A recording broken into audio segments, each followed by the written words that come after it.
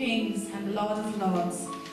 This is an invitation to all of us to seek and worship the baby Jesus lying on Mary's lap, surrounded by the chorus of angels and the reverential praise of the shepherds.